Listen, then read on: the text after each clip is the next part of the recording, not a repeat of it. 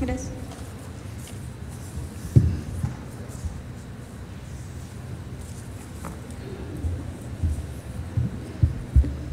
Malo aka tulaklilesh inkabe diana tuko quinta tu castali spichil baklumil Felipe Carrillo Puerto. Hachkimakimo chintawaye jetinwet meyajo y jetu nohochalach camarati diputados.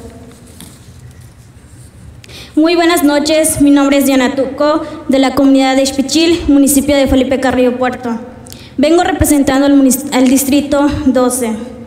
Saludo con afecto a mis compañeras integrantes del primer Parlamento de Mujer de Quintana Roo. Saludo con afecto a los diputados y diputadas de la 16 legislatura del Estado de Quintana Roo, primera legislatura de la paridad. No deseo que las mujeres tengan más poder sobre los hombres, sino que tengan más poder sobre ellas. La igualdad entre el género no solo es un derecho humano fundamental plasmado en, en, la Carta Magna o Constitución, sino la base necesaria para conseguir una sociedad pacífica, próspera y sostenible con estricto respeto hacia nosotras.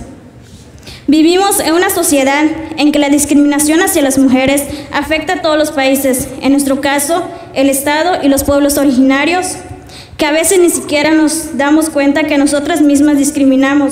Cuando hablamos, criticamos, señalamos, etiquetamos, lo estamos haciendo sin darnos cuenta. Es por ello quiero proponer y exhortar a las instituciones encargadas, como lo son el Instituto Quintanarroense de la Mujer, el Instituto para el Desarrollo del Pueblo y las Comunidades Indígenas del Estado de Quintana Roo, así como la Comisión Estatal de los Derechos Humanos y a los ayuntamientos del Estado de Quintana Roo, para que en coordinación impulsen acciones como lo son capacitación, taller, conferencias, que lleguen a cada una de nuestras comunidades indígenas del Estado, con temas de empoderamiento político, social y económico. Si adquirimos conciencia de nuestro papel como mujeres con liderazgo, empoderamiento y con igualdad de oportunidades, seremos capaces de contribuir a una sociedad más justa. A través de diferentes acciones, podemos ser portavoz de nuestra propia comunidad, haciendo acciones en donde la mujer sea la protagonista, que sea capaz de enfrentarse al mundo y luchar por sus derechos. Es por ello que es necesario trabajar en los siguientes puntos. Planificación y gestión del enfoque de género en el ámbito local, contagiando principalmente a las comunidades. Fortalecer el reconocimiento a las capacidades locales en materia de gestión.